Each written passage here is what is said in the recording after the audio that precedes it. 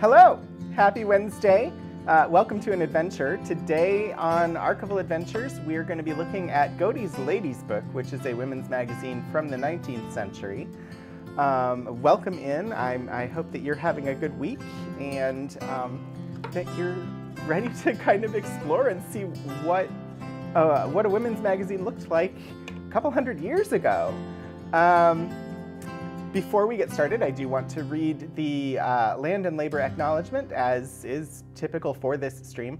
Uh, so this stream comes out from the Special Collections and University Archives at Virginia Tech, and I am the Community Collections Archivist here, uh, Anthony Wright de Hernandez, and uh, I think it's important that we pay attention to what the school says it's going to do and actually look to see if it's actually doing it. So uh, Virginia Tech acknowledges that we live and work on the Tutelo and Monacan people's homeland, and we recognize their continued relationships with their land and waterways. We further acknowledge that legislation and practices like the Morrill Act of 1862 enabled the Commonwealth of Virginia to finance and found Virginia Tech through the forced removal of native nations from their lands, both locally and in Western territories. We understand that honoring Native peoples without explicit material commitments falls short of our institutional responsibilities. Through sustained, transparent, and meaningful engagement with the Tutelo and Monacan peoples and other native, native nations, we commit to changing the trajectory of Virginia Tech's history by increasing Indigenous student, staff, and faculty recruitment and retention, diversifying course offerings, and meeting the growing needs of all Virginia tribes and supporting their sovereignty. We must also recognize that enslaved black people generated revenue and resources used to establish Virginia Tech and were prohibited from attending until 1953. Through Inclusive VT, the institutional and individual commitment to Ut Prosim, that I may serve, in the spirit of community, diversity, and excellence, we commit to advancing a more diverse, equitable, and inclusive community. so thank you for letting me read that. Hi, Key Squared, how are you today? Um,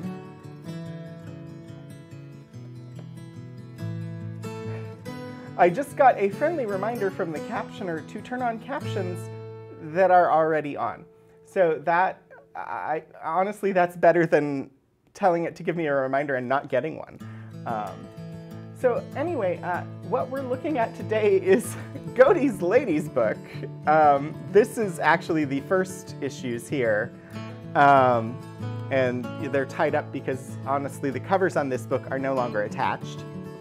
Uh, these are the latest issues that we have, and you'll see there are no covers on this book at all. Um, and I pulled a, a, selection sort of throughout the run of the magazine. Most of these have been rebound, um, or, I mean, because these would have been paper magazines that uh, would not have had hardcovers, but they've been bound into books. Happy to finally be back in the office after some maintenance issues. that is uh, that is good. I'm glad that you're happy to be back in the office. Um, looking forward to the latest hot fashion tips from the 1850s. I definitely have, this volume is 1855. So we could definitely look for the hottest fashion tips from the 1850s. That is a thing we can do today. Um, but I should probably start by looking up what exactly is Godey's Lady's book? Uh, and giving a little bit of a primer. Just gonna look it up on my phone so I can still see chat on both, both channels. Godey's Lady's Book, other alternatively known as Godey's Magazine and Lady's Book, was an American women's magazine that was published in Philadelphia from 1830 to 1878. It was the most widely circulated magazine in the period before the American Civil War. Its circulation rose from 70,000 in the 1840s to 150,000 in 1860. In the 1860s, Godey's considered itself the queen of monthlies. So it would publish an issue once a month, um, and thankfully, this magazine is a smaller format and will actually fit on camera much better than uh, the Ladies Home Journal that we looked at last week. Um, so that is uh, that is what we're going to do today. We're going to just explore and see what the 1860s or 1840s through the 1860s uh, have to offer us. Let's see how I want to position this camera. And yeah, that's not terrible. We'll just switch over to the document focus top-down view on the camera and we'll see what we've got. Unsurprisingly, it is ridiculously hot in this room yet again. Uh, so I apologize if that starts to trigger my sinuses. Um,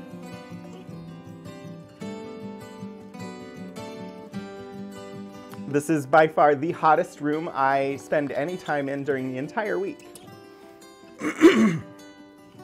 so, um, let's see, we've got this issue, which I'm just gonna move the cover out of the way because it's lovely to have on there for when it sits on a shelf, but for actually interacting with the volume, trying to keep it in place will actually be confusing.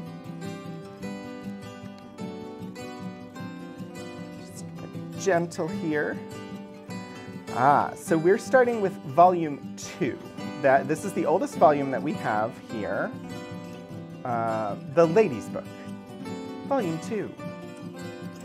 I love the illustrations in it. Um, it's very Americana in its illustration here, with the eagle and sort of like the, the Greco-Roman influence with the harp and the cornucopia and stuff like that. Uh, little um, angelic creatures with the wings not biblically accurate angelic creatures, but angelic creatures as envisioned through Renaissance art, etc. Pardon me. Published by L.A. Godey and company number 112 Chestnut, Chestnut Street, opposite the post office, 1831. Hi, Hannah. Welcome in. How are you today? Pardon me.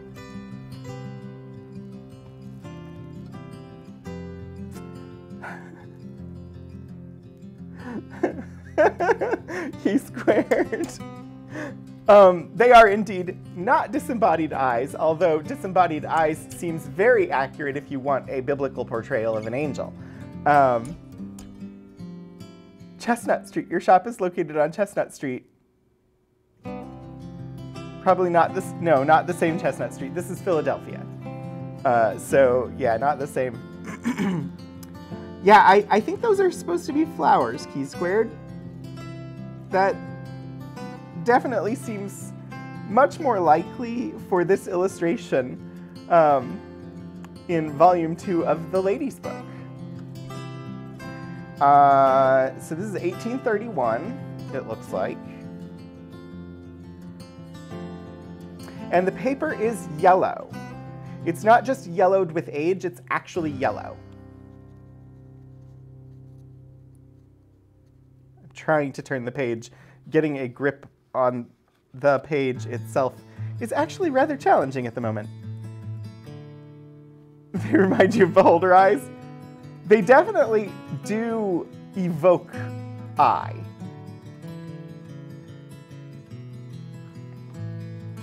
All right, I'm gonna turn the page. I'm being as gentle as I can because this this is an old item. I, I can't do the math myself. This is 1831 and my brain will not want to do that math in my head. Um, if someone wants to tell me how many years old this item is, or can do the maths, or can have the Google do the maths, that would be lovely. Hello, Lord Portico. 191 years. Thank you.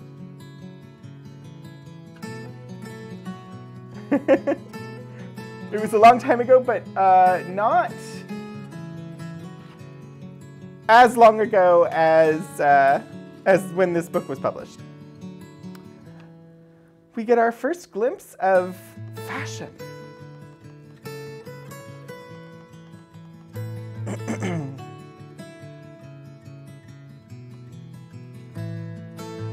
and color illustration. So the one on the left, the pink dress, is labeled evening dress. And the one on the right, the blue one, is labeled walking dress. Uh, these are labeled Philadelphia Fashions. Published for the ladies' book by L.A. Godey, January 1831. Um, the initial part of this book is in very poor shape. Um, as you can see, I have partial pages at the beginning here. so we've got page three here, which is truncated.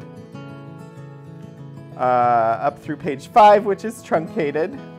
We have a bottom portion of what appears to be page nine. Um, I, I think. I don't, I don't know if it's printed. I mean, I assume it is. Like, I don't think they manually colored them in. It looks to me similar to like a screen printing process, um, but I'm not certain. I would have to investigate the technology to know for sure how the color printing was done. They're very vibrant colors. How about we find out if we if we can. We, we can search and see what we can learn about uh, 1830s color printing. 1830s color printing.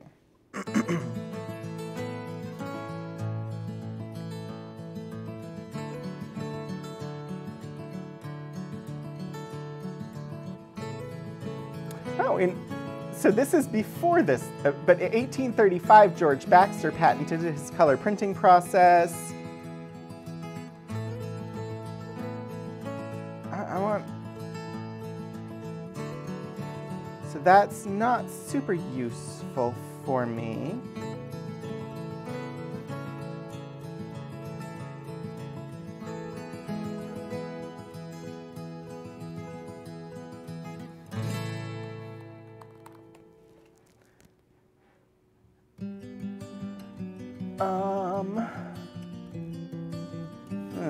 I can find.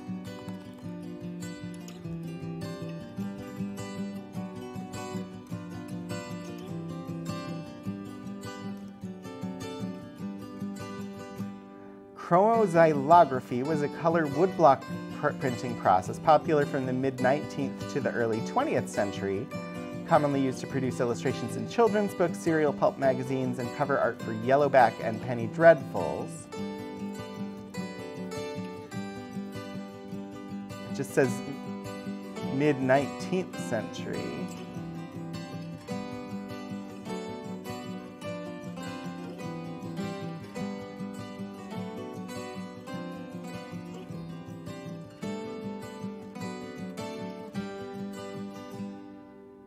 and it looks similar to this. So my guess is this is probably chromoxylography, which is a woodblock process.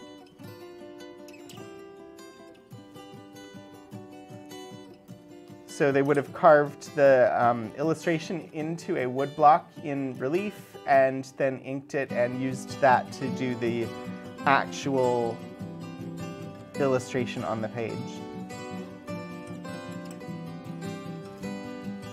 I don't know. Seem, seems valid to me. Let's see here.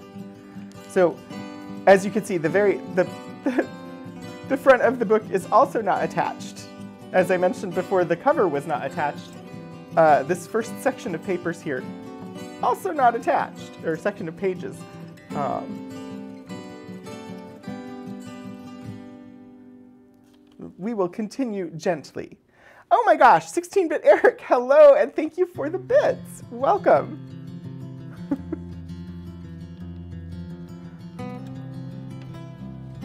And so we still have pages that are torn.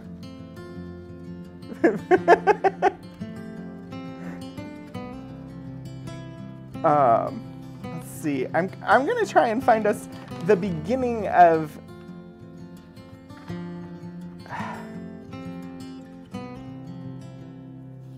something. The beginning of something where the pages are not so damaged that I am scared to interact with them, uh, which is probably going to be me looking for volume two, or the February edition. Ooh. Here, here we have another, at the very end of the January edition, a very, another very tattered.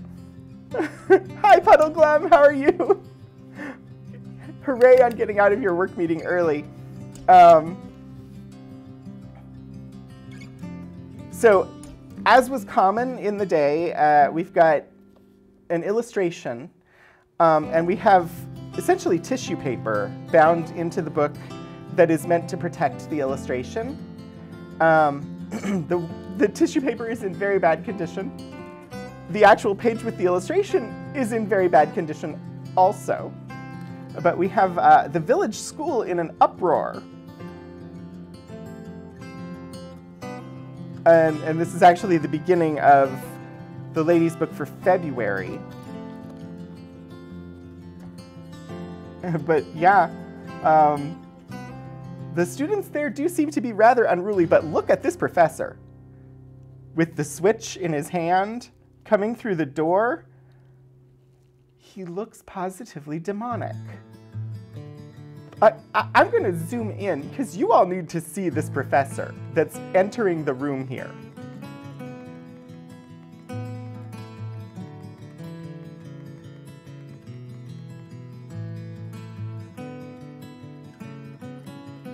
You see him over there? Just the expression on that face.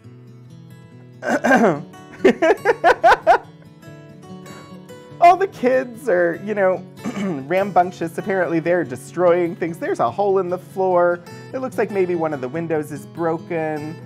They're drawing on the door. They're, they've got one of the, the benches turned over and they're tumbling around on the ground. Somebody's lost their apple, it's, it's flying away. And the professor standing in the doorway with that wicked switch in his hand.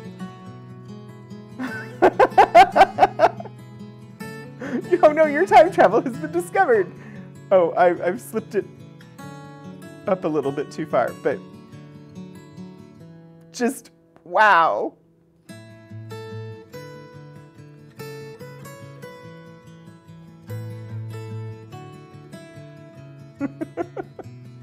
Let's cover him up.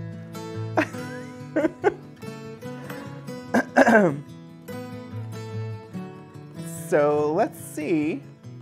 Let's take a look at the art era where they didn't really know how to paint children. They all look like very short men rather than actual boys. Indeed, indeed, yes. So here we are, February 1831. And there's a piece here entitled The School. No author given. No class of breathing beings, either brute or rational, represents a greater variety of individual character than that to which we assign the generic name of schoolmaster. Could a Congress be assembled of those who in any large city have devoted themselves to what, according to the disposition and qualifications of him that undertakes it, may be regarded as one of the noblest or the meanest of human pursuits? Could each be induced to give a full and candid relation of the motives and circumstances that first threw him into that line of life and subsequently confined him to it? What rich materials for a most instructive and entertaining volume would a selection from these afford to a writer acquainted with the human heart and skilled in the ways of the world? The herd of those, too numerous by far, who would be found to regard their profession as a trade to which they had been drawn by the expectation of earning a decent livelihood without much active exertion of either mind or body, might be dismissed and forgotten, but there would be left the scholar who had started in life rich in mental, uh, rich in mental acquirements, but poor in everything else. possessing every talent but that for battling stoutly with fortune, and every dis- and and, early disgusted with the strife of the busy world, leaving the field to rivals inferior to himself in all but hardihood. His services are accepted in a public or a private school, where he sits down to his labors, resolved to be contented with a condition inferior to that which he was once confident of reaching, and to exert himself strenuously for reputation and promotion. He is to be regarded as one of the best and happiest of the assemblage, but will his patience hold out? Will his health and his intellectual vigor stand the trial? Will his merits, when an opportunity offers to reward them, succeed against the patronage that may be enlisted in favor of an incompetent seeker of the post to which he feels himself entitled to aspire? He hopes so now, and let us leave him trusting that he is not doomed to disappointment. So basically, uh, laying out that, hey, the schoolmaster he's really intelligent, but really didn't like the like trying to get ahead in business and make lots of money. So instead, he chose an intellectual pursuit that will leave him in poverty the rest of his life. Yeah, so nothing has changed. That that's what I take from it.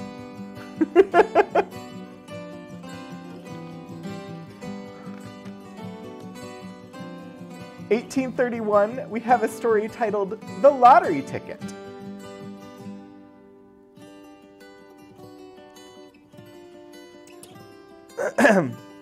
We're really going to drive home how much things are still like they were in the 1830s, apparently. Mr. Richard For uh, Fogram, Fogram, Mr. Richard Fogram, or as his old acquaintances would more familiarly than respectfully designate, designate him, Dick Fogram, or as he was sometimes styled on the superscription of a letter from a tradesman or poor relation, Richard Fogram Esquire, had for some years retired from business, although he had not yet passed what is called the middle age. And turning his back on his shop, where he had made, if not a considerable fortune, at least handsome competency, rented a small house at, at Hackney, or as he was pleased to term it, in the country.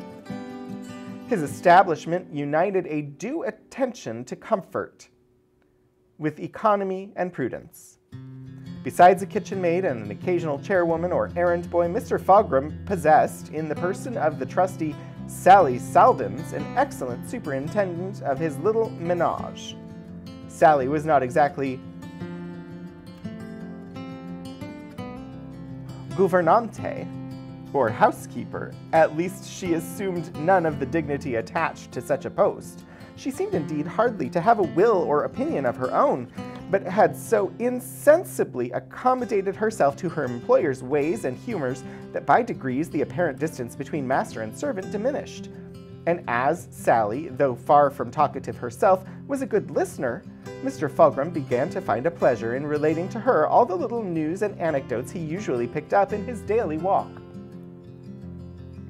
Let it not, however, be supposed that there was anything equivocal in the kind of unconscious courtesy which existed between these two personages. A single glance at Sally would have convinced the most ingenious fabricator of scandal and dealer in innuendos that there was no foundation on which to build even the slightest surmise of the kind, for both Sally's, uh, both Sally's person and face were to her a shield that would have rebutted any notion of the sort uh, that author just called Sally really ugly in the terminology of 1831. It, I, should say in the um, respectable upper class terminology of 1831, he just called Sally really ugly.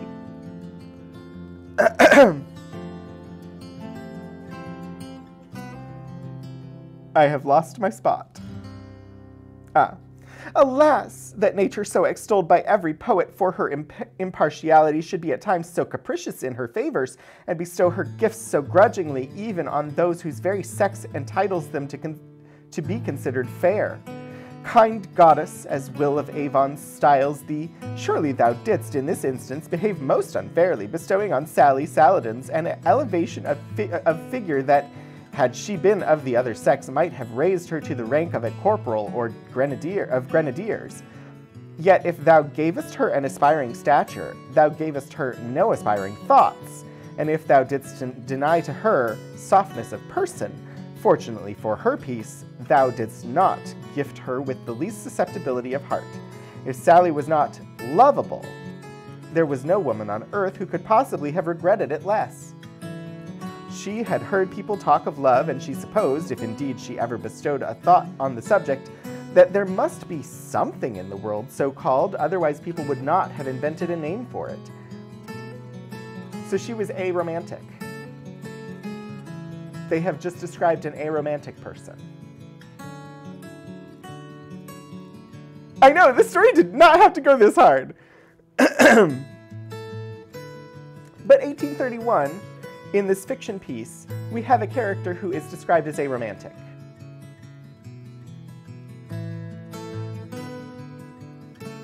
Uh, but she could no more pretend to say what it was than to describe the ingredients of the air she breathed. In short, Sally was the most guileless, guileless, simple, and disinterested of mortals that ever entered beneath the roof of a single gentleman to be the first servant where there was no mistress. Well, therefore, might Mrs. Toms, who was aware that elderly gentlemen in her dear uncle's situation were not always gifted with that discretion that beseems their years, but sometimes commit themselves to wedlock in an unwary moment to the no, to the no small prejudice of their affectionate relatives, well, I say might the prudent Miss Tom, Mrs. Toms congratulate herself on having found such a treasure so invaluable a jewel as Sally Saladin's she was certain that from this quarter at least there was nothing to be apprehended, nothing to intercept her dear uncle's three per cents from what she considered the legitimate object of their destination. so Mrs. Toms set him up with this housekeeper because there was absolutely no way that this housekeeper might marry uh, her uncle and therefore rob her of her rightful inheritance, is what this just said. I'm, I'm still curious about where the lottery ticket comes in. Uh, some alarm indeed had been excited in her mind by hearing that Mr. Fulgrim had seen rather frequent had been seen rather frequently of late, knocking at the door of Mrs. Simpson. But then again she thought he could not possibly be led thither by any other motive than that of chatting away an hour with the widow of an old friend. Beside, this lady was not likely either to lead or to be led into matrimony. In her younger days, Mrs. Simpson might have been pretty, but none of her acquaintance could recollect when. She still patched, yet the patch was applied not where co coquetry would have placed it, but where necessity dictated, namely over the left eye. So she still put on makeup, but not where uh, someone would put makeup if they were trying to attract a mate, but rather where it was absolutely required. Boy, this book really doesn't like women. Impromptu content warning. Today we are reading literature from 1831 which may contain stereotypes of women that may be demeaning or uh, denigrating. Please be mindful as we move through this content and take a moment away if it becomes overwhelming. Yeah, Lord Portico, thank you for that.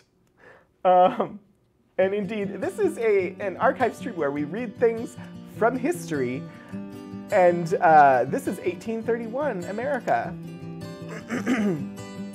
I know Puddleglum! This is a women's magazine!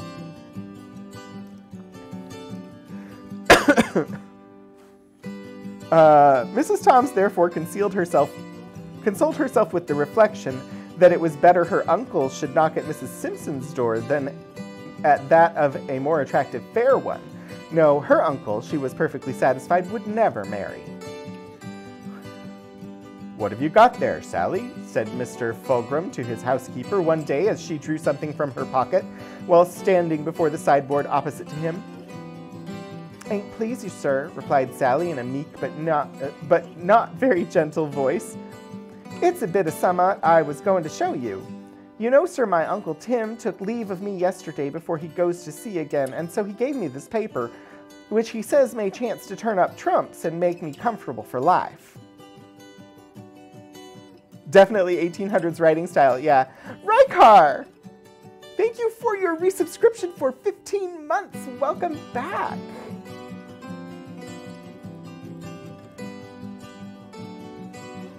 Well, let me see what it is, Sally. Is it the old fellow's will? Huh. Why, Sally, this is a lottery ticket. A whole lottery ticket, yet I will venture to say not worth more than the rag of paper 'tis printed on. I, I have myself tried the lottery times and, and often ere now, and not got anything but disappointment. A blank, sir, a blank. That was the only answer I ever obtained. Uh, oh, a blank, sir, a blank. That was the only answer I ever attained from them. What could possibly induce your uncle to lay out his cash in so foolish a manner? Tis never worth either keeping or thinking about. Number 123, confound it. I know it well. I once purchased a share of it myself, the very first I ever bought when I was quite a lad, and, well, I do recollect that I chose it out of a whole heap, and thought myself very fortunate in obtaining one with such a sequence of figures. One, two, three. Can't tell yet if this is supposed to be a humorous story, if this is going to take a dark turn. Yeah, I have no idea, Puddleglum. I, I don't know what to expect from this.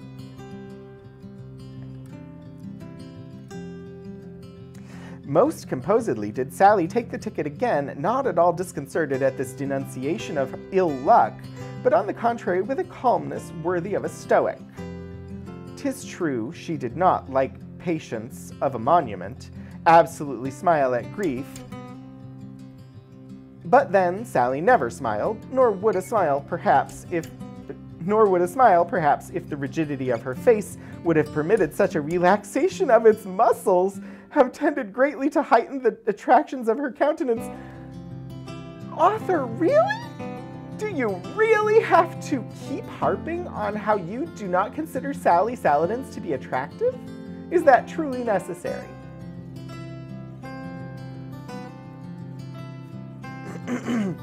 Her master, in the meanwhile, continued eating and wondering, and wondering and eating, until he could neither eat nor wonder more, but dismissing Sally with the dinner things, turned himself quietly to the fire and took his pipe.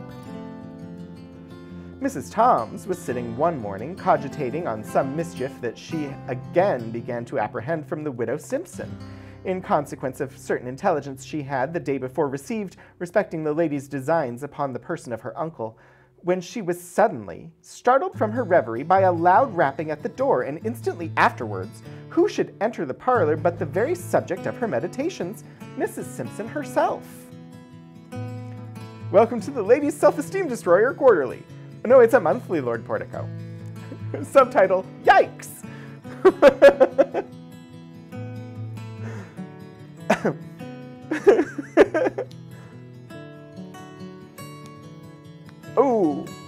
and and we have had someone uh, who identifies as a woman chime in that that is most women's magazines. A, a regular issue of Women's Self-Esteem uh, Self-Esteem Destroyer. So I guess we're right on track, or beginning the trend. The appearance of so unusual a visitor would alone have sufficed to surprise her, but there was something in the good lady's manner and countenance that denoted she came upon a very important errand.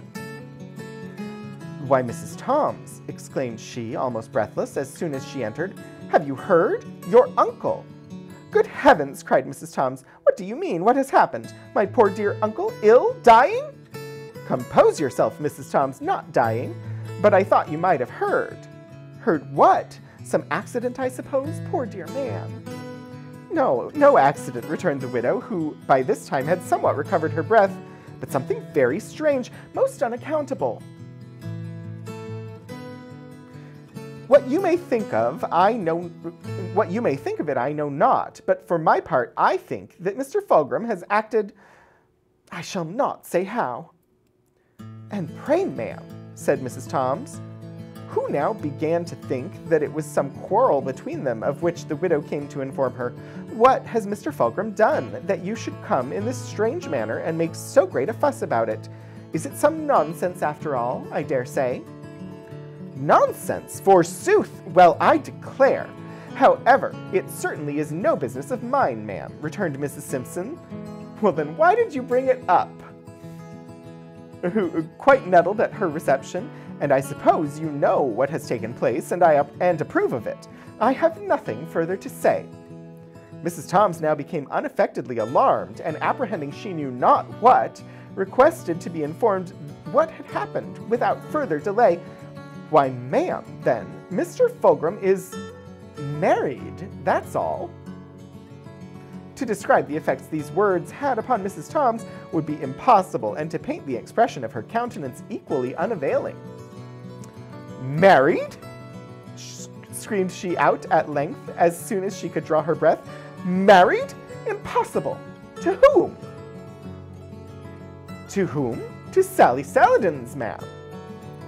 To Sally Saladins? Impossible! You must be joking! N not I, I assure you. I'm not a person, Mrs. Toms, to make such jokes.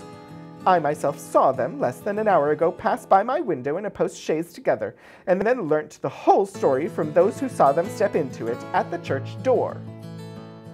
Oh! Mrs. Simpson, how have I been deceived in that insinuating hussy Sally Saladins? She who seemed so staid, so discreet, so very unlikely a person.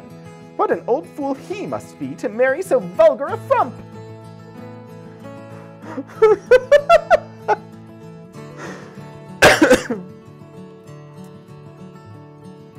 I just... I'm... okay. Nay, do not agitate yourself, my dear ma'am, said Mrs. Simpson, who now having dis disburdened burthened herself of her secret and her own mortification being perhaps carried off by that of Mrs. Toms, which acted as a conductor to it, had quite regained her composure.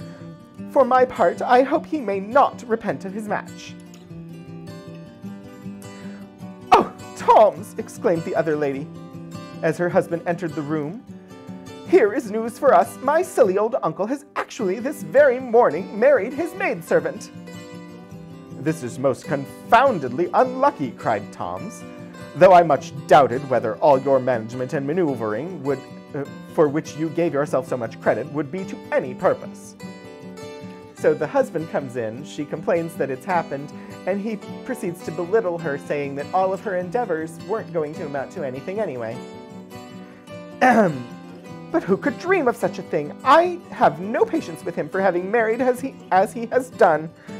Well, my dear, there's no helping it, and perhaps after all, since he is married, it is quite as well for us that he has chosen as he has.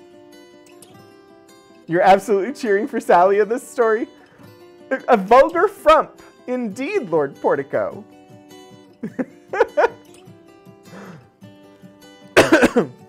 I'm wondering if this is a moralizing tale trying to tell uh, busybody women to stay out of their relatives' lives. I'm, I'm not certain yet, though.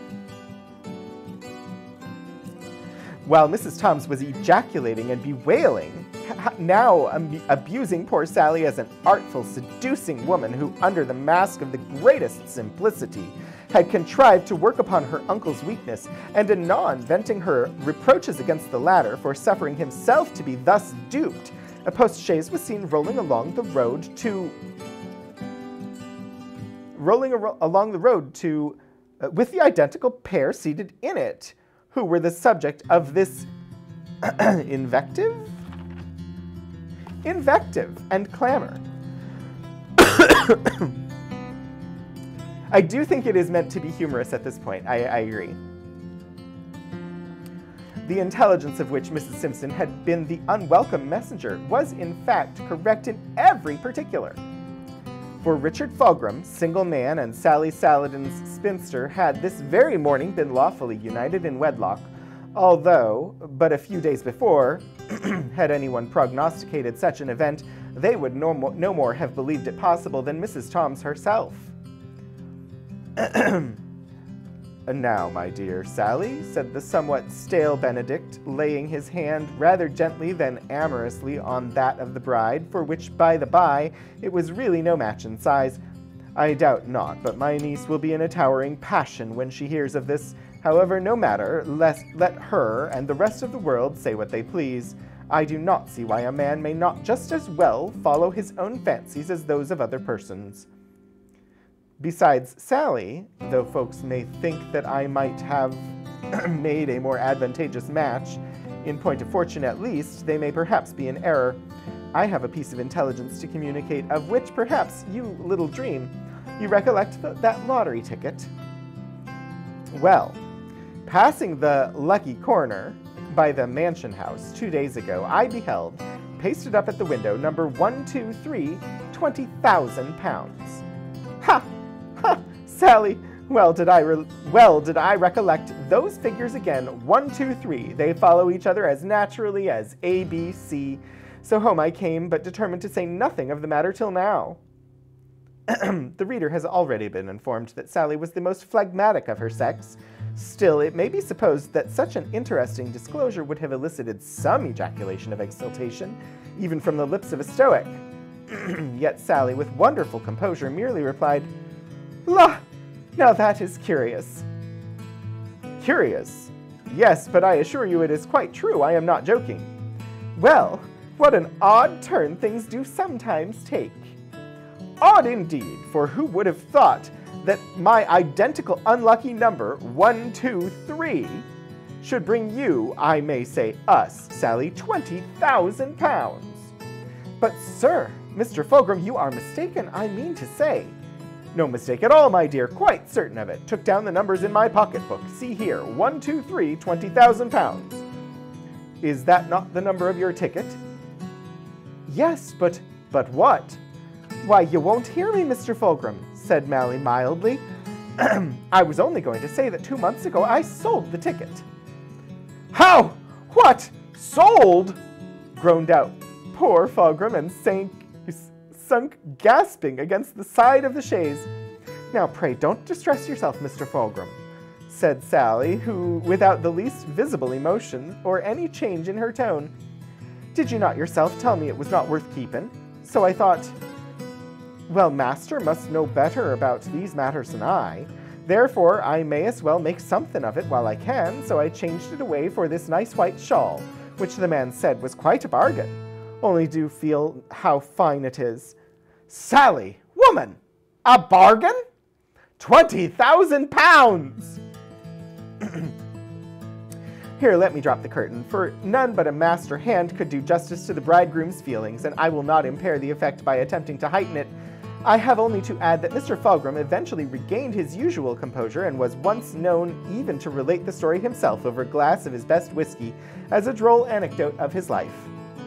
Matrimony made no visible alteration in his menage, nor in his bride, for the only difference it caused with respect to the latter was that she sat at table instead of standing by the sideboard, that she was now called Mrs. Fulgrim instead of Sally Saladins. That is a plot worthy of uh, worthy of a television episode from uh, Downton Abbey. Like I, I could see that as like an episode of Downton Abbey or a, a plot line in Downton Abbey or some, some such. Um, the moral here is that mansplaining is a costly sport indeed. it actually was a really good story, um, apart from the rather unnecessary, uh, unnecessarily abusive descriptions of the women involved. it was definitely uh, the comeuppance at the end was was really good. Like it was clear he only married her because she had probably won the lottery, and then to find that um, he admits to her that he only married her because she won the lottery, and for him to to say, "Oh, but I sold the ticket because you said it wasn't worth anything," just absolute perfection.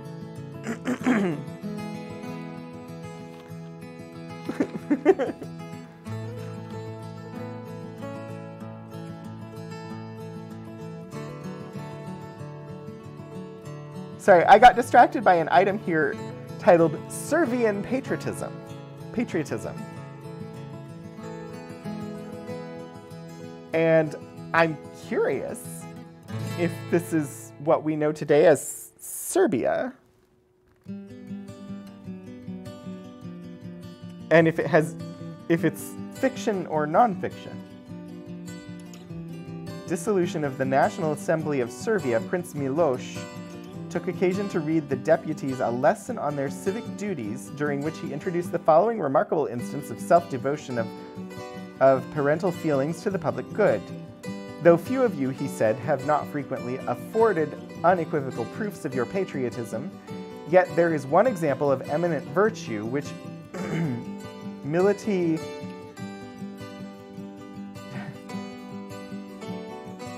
Jevanowitz has displayed for our mutual emulation that deserves to be publicly known. At these words, he presented to them a common peasant from the district of Semendria, whose age might be about 50.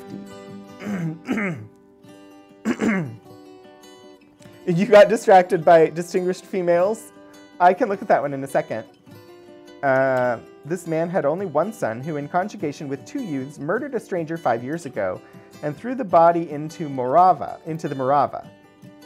Out of the money found on the stranger's person, Milty's son received for his share 18 uh, piastres, between five and six shillings, and a brace of pistols. He buried both in order to avoid any inquiry on his father's part, and shortly afterward, one of his companions fell ill and died, whilst the other was drowned in the Morava.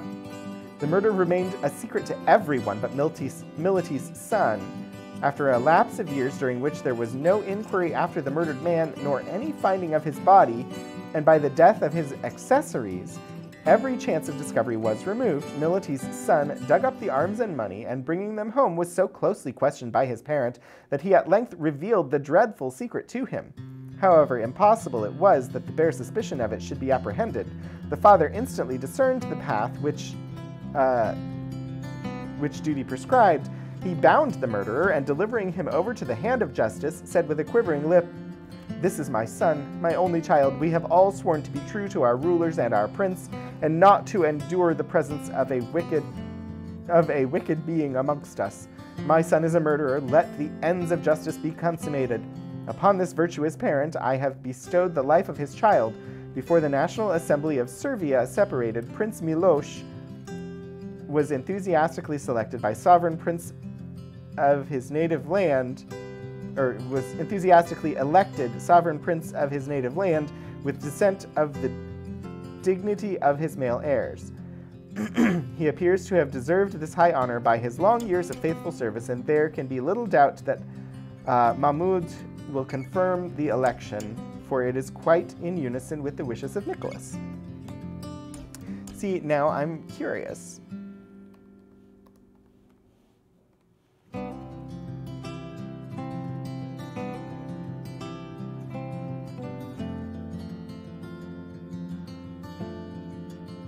Huh.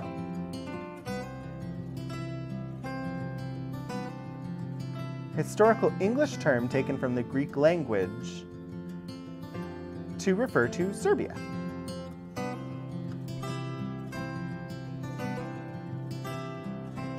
I still don't know if it's true or if it's a, a fluff tale that was written, but it is indeed about Serbia.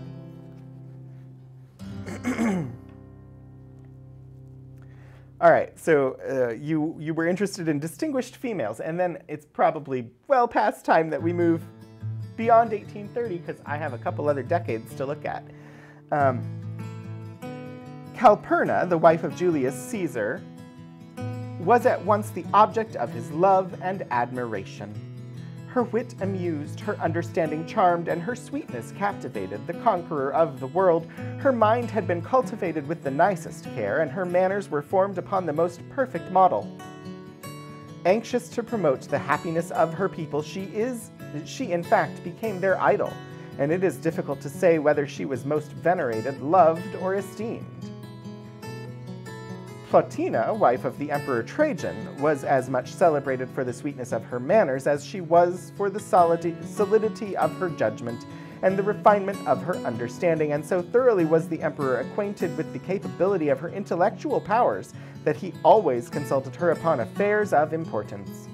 Yet this flattering compliment to her abilities neither filled her with pride or puffed her up with presumption, for her humility was equal to her penetration, and her affability to her judgment, and so great was the ascendancy she obtained over the emperor that historians ascribe many of his noble acts to the influence of her virtues. Agrippina, wife of Germanicus, was a woman in whom were united great talents, exalted virtues, and refined delicacy. her perfections were found in an in in, on an innate principle, founded, let me try that again. Her perfections were founded upon an innate principle of virtue, which withstood the pernicious effects of bad example, for her mother's character was as much disgraced by censure as her own was adorned with praise. The eldest daughter of the illustrious Chancellor Thomas More was a wise and amiable lady. her learning was almost eclipsed by her virtues. She corresponded in Latin with, with the great Erasmus, who styled her the ornament of Britain. After she had consoled her father in prison, had rushed through the guards to snatch a last embrace, had obtained li the liberty of paying him funeral honors, had purchased his head with gold, she was herself loaded with fetters for two crimes for having kept the head of her father as a relic, and for having preserved his books and writings. She appeared before her judges with in, uh, intrepidity, justified herself with that eloquence which virtue bestows on injured merit, commanded adoration, uh, commanded admiration and respect, and passed the rest of her life in retirement, in melancholy, and in study.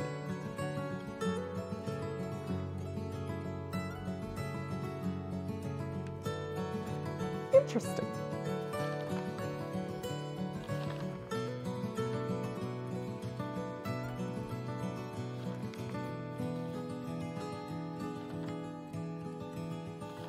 This is actually um, this series, this this title of uh, Godey's Lady's Book, actually gets fairly frequent use from our collections. Um, it's a well-known women's magazine from history, and uh, so gets used somewhat frequently uh, for study purposes. An illustration titled The Three Sisters to start the March one. And uh, so this illustration is paired with the initial uh, story. So the initial story in the March issue is The Three Sisters.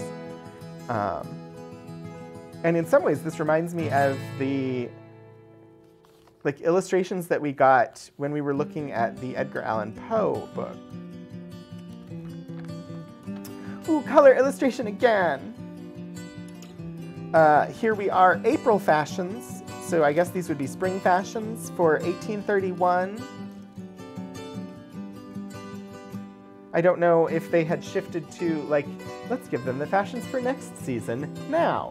Or if these were, here's what you should be wearing today. Uh, so I'm uncertain if these are spring or summer fashions for 1831, but we have Philadelphia fashions. On the left is a walking dress, and on the right is an evening dress.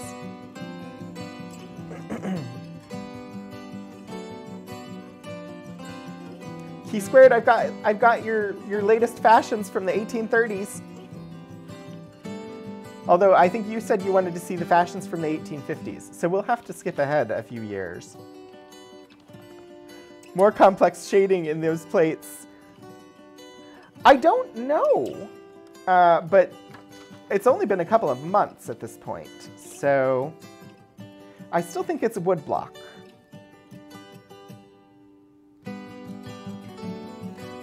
Sort of the hashing of the shading does look like um, uh, does look like woodblock to me. Oh, Fluidan. Hi. Um, yeah, daylight savings, Fluidan. Uh, everything is an hour earlier this week. Um, I, I'm ready for them to um, start let allowing withdrawals on all of this daylight saving that I've been doing my whole life. I would very much like to, um, to withdraw some of what I have saved up.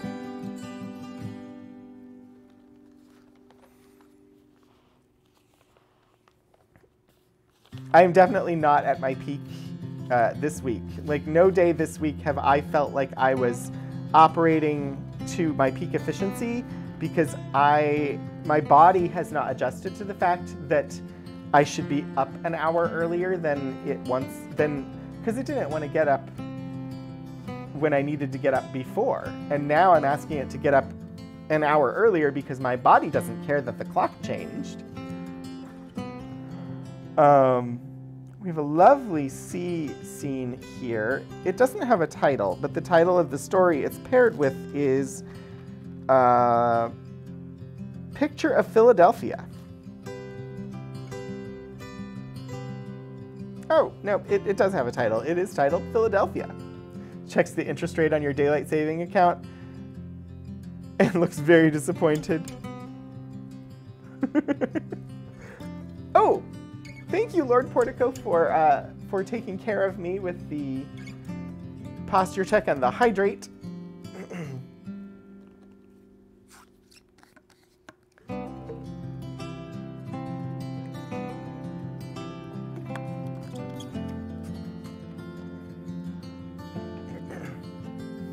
and as it is mid-March, uh, mid-March I tend to wear a lot of green, and so I wore my my green sleeveless sweater today, uh, since we still do not have the green screen installed. So I can wear it. Anywho, I'm gonna just skip ahead because I want to end this book and move on to the next one. Um, and yes, still in pieces, this one is. I will have to um, tie it all back together with the cloth tape when the stream is over. Um, but we have cotton tape to hold it together. Um, that is right there, and so I will tie things up um, after I sign off. Let's move along. And jump forward a little bit in time. Our next volume, I do not know what year it is. Uh, it is volume 15 of the Ladies' Book. Apparently, this was the property of Constance, Constance A.P. Nightingale and the property of Thomas F. Carpenter. I do not know who either of them are but uh, at some point we got their copies. Uh, this appears to be Thomas Carpenter's signature here in, from Providence, Rhode Island.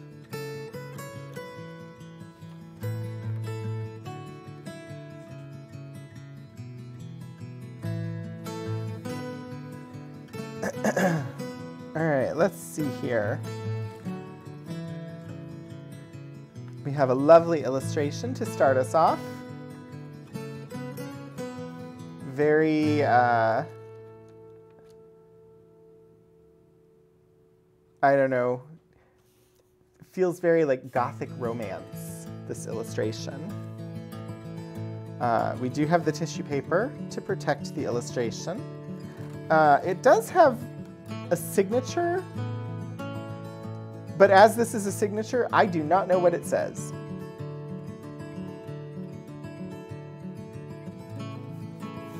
Because this is not a cursive title or something. This is, I'm guessing, an artist's signature. And um, I am not sure, not certain what it says. This could be B E Y?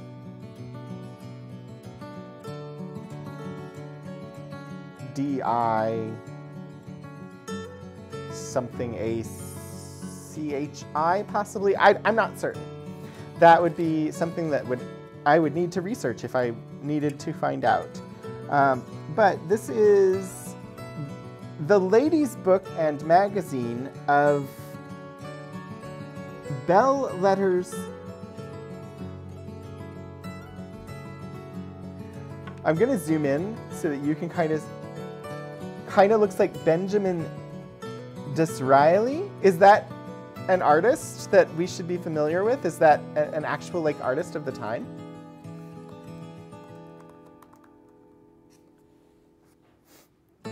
Uh, signature.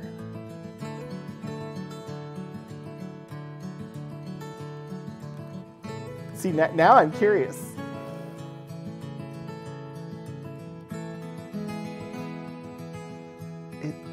Does have some similarity.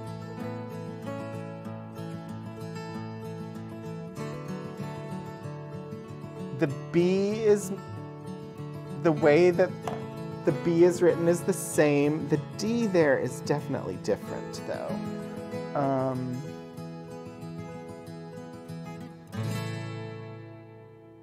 but that I, I don't know dates on these examples that I'm seeing, so it's possible that the D changed. You can definitely uh, change the way that you write letters over time. that is a thing that can happen. Uh,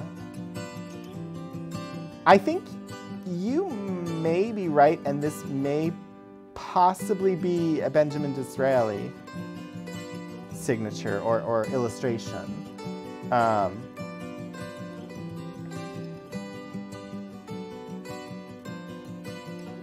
but I, it, it would take a little bit of researching specifically Disraeli autographs to discover if this was him or not. Um,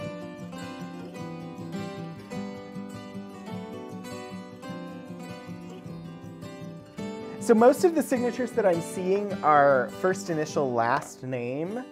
Um, and the D is definitely formed differently in those cases. Um, and I, I, I don't know. The B was very similar on some of them. But the fact that this ends with a tail like that before going into the D seems like maybe not, but then I could definitely see that being Disraeli as the last name. Uh, so comparing signatures is a thing that you have to pay attention not just to the formulation of the letters, which varies from signature to signature, but generally have the same shapes. And so the fact that there's the tail at the beginning of the B, there's the loop, there's the thing, and it ends in a dot that doesn't connect, that was similar to one of the signatures of Benjamin Disraeli that I saw. So that's evidence for it being his signature. But um, on the other hand, you also have to pay attention to the date and time. So uh, this would have been an item from a year that I have not established yet, 1837. Uh, and it's possible that the signature that I was seeing an example of online is from later than that, just based on the art styles that I was seeing associated with the signatures I was seeing. Uh, they looked more refined, they looked um, sort of more detailed than this sketch. So I'm guessing that they were probably later works, but I would have to take the time to dig into it, see the dates on them, see if I could find examples from the late 1830s of his signature to see. Uh, so there's a good possibility, but I, I can't say for certain because it would require a lot of research in order to determine um, if this was indeed his work. And, and, like this is a print. This is not an original signature. So that um, yeah. British politician of the era, not super relevant. Prime Minister of England in 1870. So it's possible, but who knows? I was going to zoom in on the, the title plate here, um, which is somewhat difficult to read. Uh, sorry, let me shift the book so that you can see what I'm looking at. Oh, too far. I love the delay between when I do something and when it shows up on stream, um, which means that trying to adjust where the camera is positioned is always fun. All right, here we go. The Ladies Book and Magazine of Belles Letters, Fashions, Music, etc. Volume 15.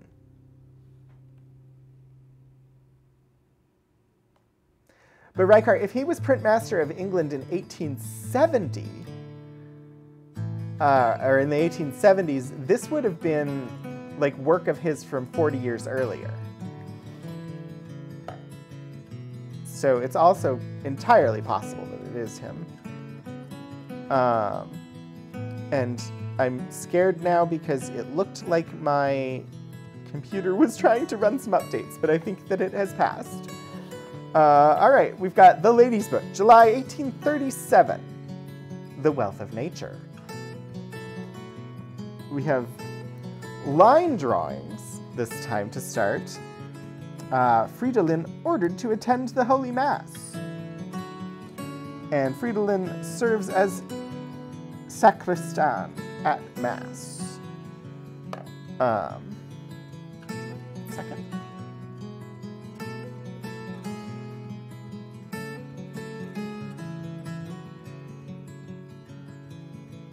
About halfway through stream, every time uh, one of my devices signs out of what I need it to be in.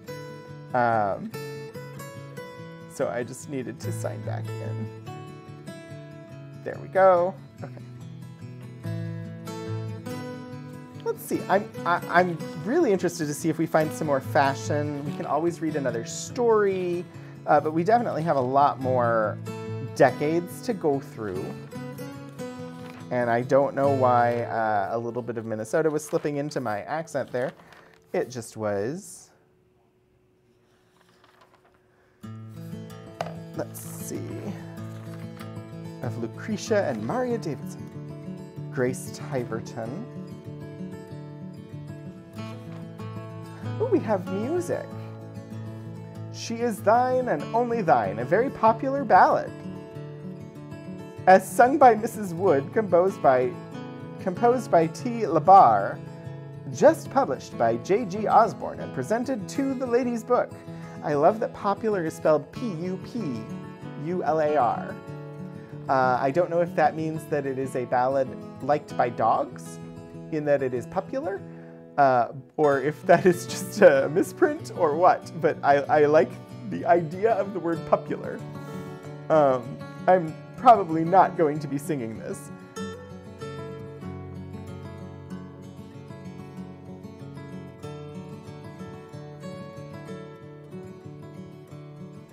Yeah, I'm not going to be sight reading songs um, live on the internet while different music plays in my ears is just not going to happen. Uh, but I do appreciate that they, they were printing music because this is this would have been something you could have taken this issue and put it up on your piano in the drawing room, and you know, you and your friends could have had a sing along. The tortoiseshell spectacles, the lady's mentor. Oh, here we are, six years later. Uh, we have another color illustration. It does appear to be a woodblock print again, although not as precise as six years previous. The feathers in her fan, in particular, seem to have. Uh, they just seem very much less precise. There's bleed across the image. They honestly, the feathers of her fan look more like they were filled in with watercolor than they do uh, as if they were applied by a woodblock print. Um, I don't believe that they were. It's just that certain areas, uh, like this bow here, look more like they were applied with watercolor than woodblock.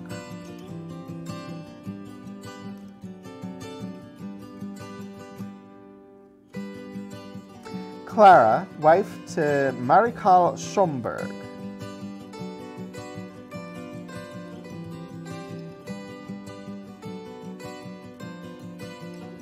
So I think this is supposed to be a portrait of an actual person.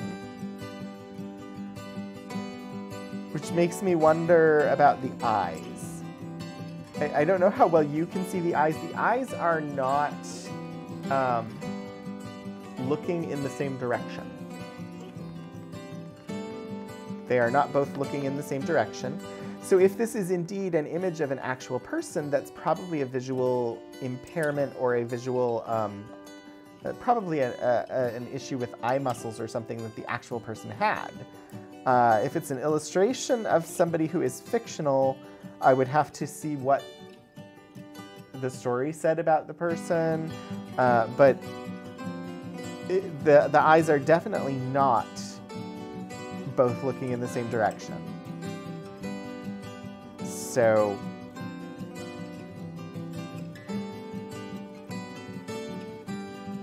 uncertain as to the reasoning behind that. Usually the image has matched with the story on the next page, so let's see if, uh, if this story happens to be about this person. A glance at it, I don't actually think it is just based on the title, but it's possible. Uh, so this is Clara, wife to Marechal, uh, M-A-R I-C-H-A-L, Mar Marshal Schomburg. Marshal Schomburg. Um, and I definitely do not see the name Clara anywhere in this facing story, so I don't actually think it's about her. I think it's, I think, I think this is a celebrity photo. It's a women's magazine, and I think here in 1837 we have a celebrity photo.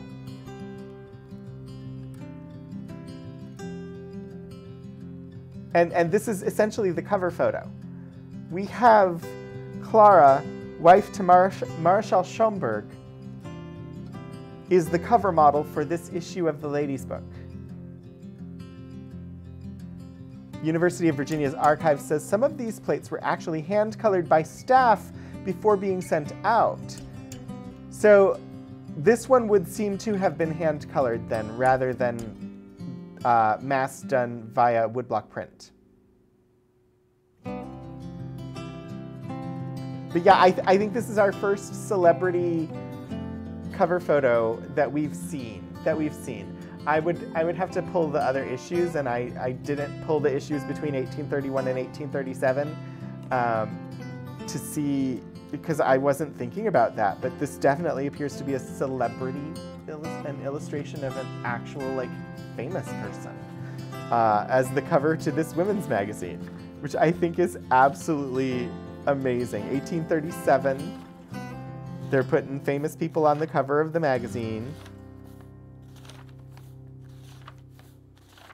See what we can find next. Um, we've got another song. Oh, Doubt Not, a song composed and arranged for the pianoforte by Peters presented by J.G. Osborne for the Ladies' Book. J.G. Osborne. Why do I know the name J.G. Osborne? J.G. Osborne.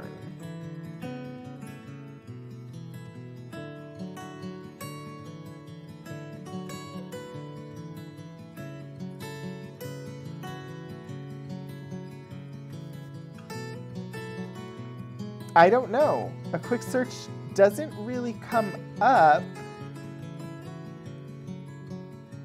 There's a scholarship at Prairie View A&M University named for a J.G. Osborne, but I don't know if it's the same person. There's a J.G. Osborne Elementary School in Houston. I don't know why I know the name J.G. Osborne.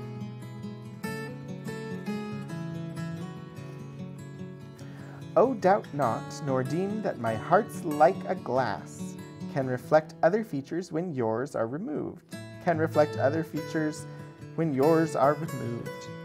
You have reft it of all but your image. Alas, if this be not loving, you have not been loved. If this be not loving, you have not been loved. There's two more verses, and I am definitely not singing it while I have other music in my ear because I tried doing that with Christmas carols and boy did it not work.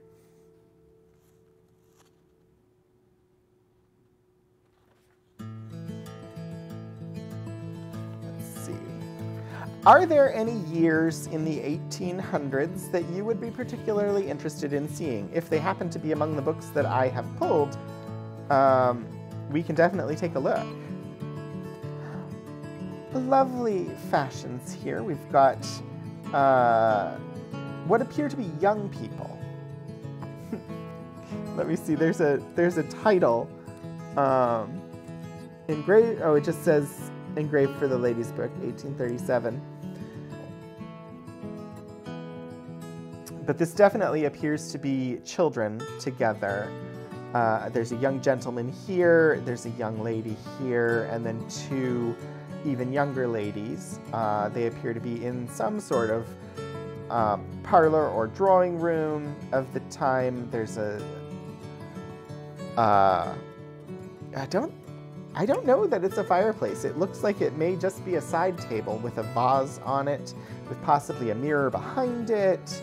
Um, her dress is, is definitely colored. His coat, as you can see, is, is he's got a green coat and a blue hat, and her blue bonnet. Uh, somebody really liked the blue, but was very imprecise at applying the blue. We've got the pink dress here, but her dress does not appear to have been colored at all. Young people with 10 inch waists, you're a bit concerned. Yeah.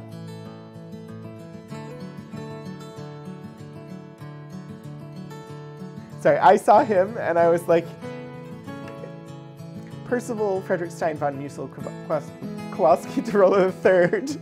like, I was like, yeah, that just made me think of Percy from Critical Role. Um, just his face mostly, I think. Um,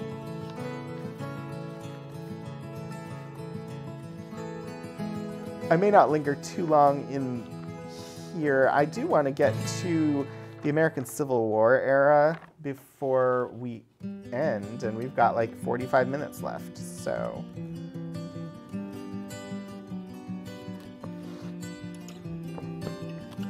And this was not the entire year in this volume, uh, which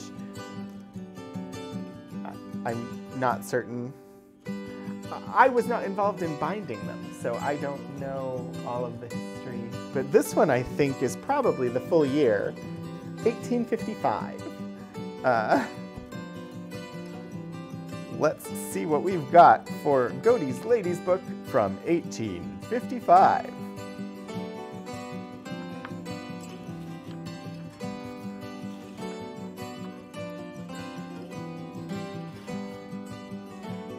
So here's a thing that you all might find interesting. Do you see an image there?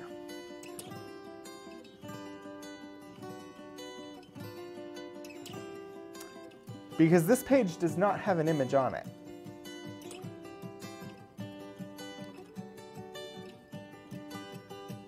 This is acidic bleed through on the paper from the ink that was used to so the, the, this is acidic bleed through on the page um, from an image that is not on the facing page. You could see the shadow of the image on the facing page too, although interestingly, less pronounced on this page. The image itself is here. This image bled through to that page. Or, yeah, it's a figure in some trees, some silica. Uh, it is John proclaiming the Messiah, apparently. Um, again, this does appear to be a woodblock print possibly uh, a more advanced printing process, um, as in like a metal cut, a die, die printing, but just the, the way that the lines are in here, the way that things are made, the hashing that is done to get the different levels of darkness, it looks like a woodcut to me. Lord Portico, thank you for giving uh, giving points to some silica. So interestingly, enough ink was used on this page that the acidity of the ink actually colored through the page and onto the facing page here. And now, with that, you can begin to understand why it was common to put tissue paper on the illustrations, because the tissue paper actually prevents that from happening. Because uh, the actual facing page here that also had an illustration, you don't get the shadow of the other illustration because there's tissue paper separating the two.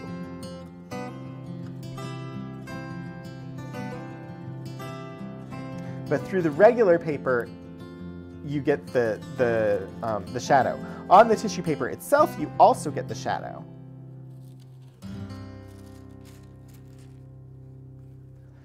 Godey's Lady's Book. The Floral Offering is what this illustration is called. Uh, let's see what we've got for this issue of the Ladies Book. Oh, we have more color illustrations here. 1855. Godey's unrivaled color fashion is what this is. I can't zoom out any further. Uh, there, yeah, that's as far out as I can go. The, the, the plate's title is just Godey's Unrivaled Colored Fashion.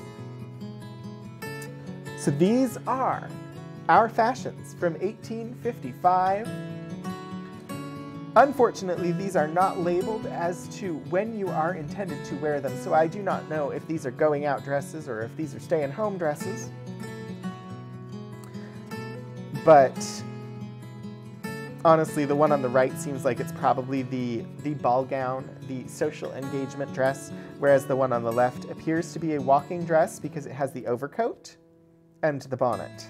So that would be my guess, is that the walking dress is on the left and the uh, ball gown is on the right.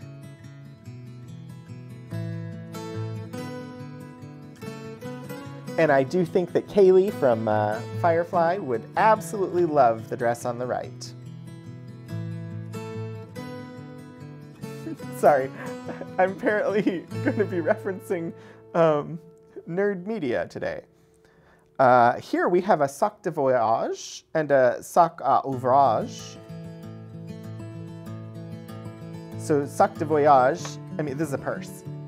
This is the bag that you take with you when you're going on a voyage. Uh, ouvrage, I'm not certain. I need to look up that word. My French, I had one year of French in the fifth grade.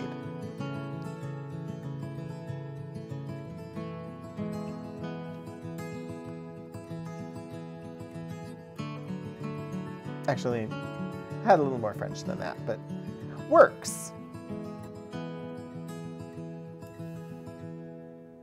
Okay, now I now I need to like sac uh, ouvrage. Ah, okay. Got it, got it. I will translate in just a moment unless somebody in chat already has.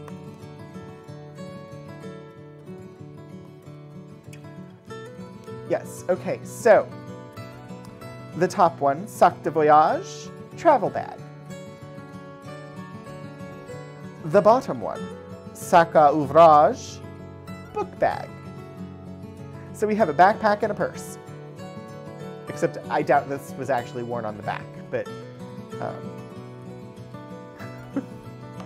but they're lovely color illustrations. This is more color than Ladies Home Journal had. And Ladies Home Journal was from 100 years later. Ooh, we have a table of contents for volume 50. Right? L is 50, right? I think so. A curious library. A few words about modern civilization. A glance at the West. A hint to the discontented. All Earth is beautiful. Allumette vases a lock of hair, an old bachelor's soliloquy, anecdotes of Rakan, another letter from the western wilds, anti-Macassar Laurestina leaf pattern, a plea, a poet's song in despondency, applique bracelet to be worn with the necktie, illustrated, a prodigy in arithmetic, a serenade, a serenade, a series of papers on the hair Let's look at one of those. Page 31, a series of papers on the hair.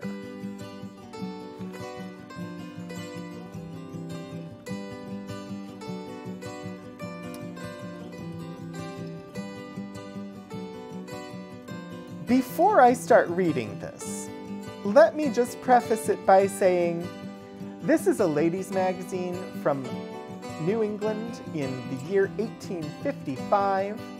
I do not know what the contents of this will be. If they get exceedingly horrible, we will stop. Uh, but you may encounter viewpoints and descriptions that would not be acceptable today.